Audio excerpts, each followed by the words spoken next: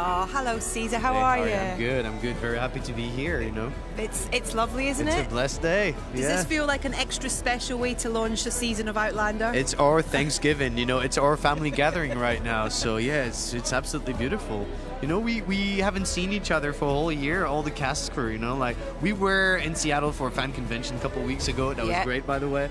But it's so nice to see everybody, and now we're excited to see the result. You know, of like things we shot. Genuine friendships are formed on this show, aren't they? Absolutely, yeah, yeah. No, it's it's when you're stuck with people for so long, you know, you gotta find ways to become friends, you know. And it was easy with those ones. I mean, they're Yeah. great. Yeah, they're great. Great human beings. I love them. I'm a wee bit worried about Fergus. I think you should be. really?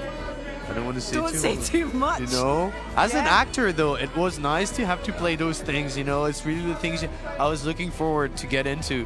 Um, uh, funny enough, I knew back in the day, years ago, that that's where the character would go. Yeah. So it was even uh, more fun for me to start it from such a um, joyful place, so Yeah. enthusiastic, like a little boy and all, and to take him like to such a dark environment this Yeah. time.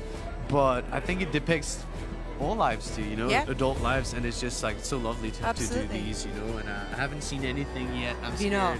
No, no, Are you excited no. about tonight, I'm scared. Steve? I'm only scared. No, but it's, uh, I hope you guys will like it. It's going to be awesome. Thank you so much. it's going to be so good. It's so great to chat to you. Thank you so And much have for a coming. wonderful celebration with I will everybody. do that. Thanks, I hope Cesar. you're gonna be around. Yeah, See you thank guys. you. Thank you for being here.